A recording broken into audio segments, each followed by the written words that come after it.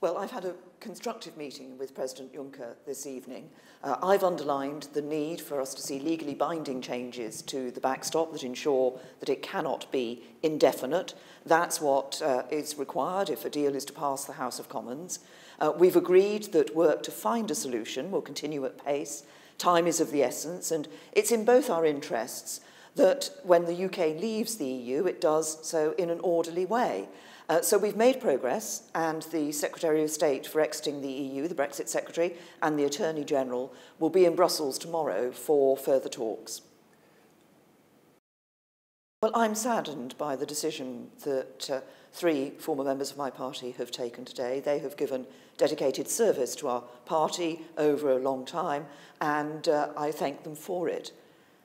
Of course, the question of the UK's relationship with the European Union has been a source of disagreement in my party and also in the country for a long time. And leaving the European Union after over 40 years was never going to be easy.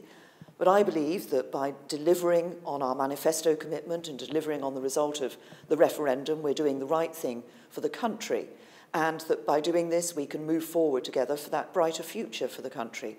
But I'm determined that under my leadership, the Conservative Party will offer the decent, moderate and patriotic politics that I believe the people of the UK deserve. Well, the question of our membership of the European Union has been a matter of disagreement in our party for many years now.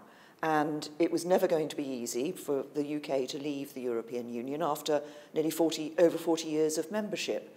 Uh, but I believe that by delivering on the result of the referendum, which was our manifesto commitment. We're doing the right thing by the country.